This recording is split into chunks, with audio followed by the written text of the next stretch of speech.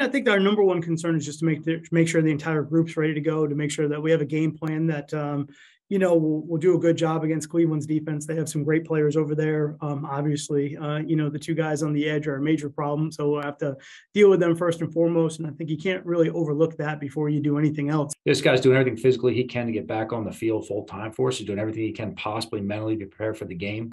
Uh, he comes in every day focused. He does a great job in meetings. Does a great job on the field all right, and what he can do out there when he's with us. So, you know, very encouraged by how he's working. We all know he's doing everything he can to get back on the field. He came into this league as a long shot, as a free agent out of uh, NC State, and he's been able to stick around as a guy that can do some of the dirty work for us, and and, and also go out there and be a, a, a key piece to us on uh, when it comes to catching passes as well, especially on third downs. Plays hard. Um, he does everything the right way. He prepares the right way.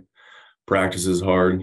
Um, it's it's no surprise. He goes out there and he does exactly what he's asked to do every day, and uh, does it does it well. A lot of a lot of different weapons. Like I said, they're an efficient offense. They stay on track really well.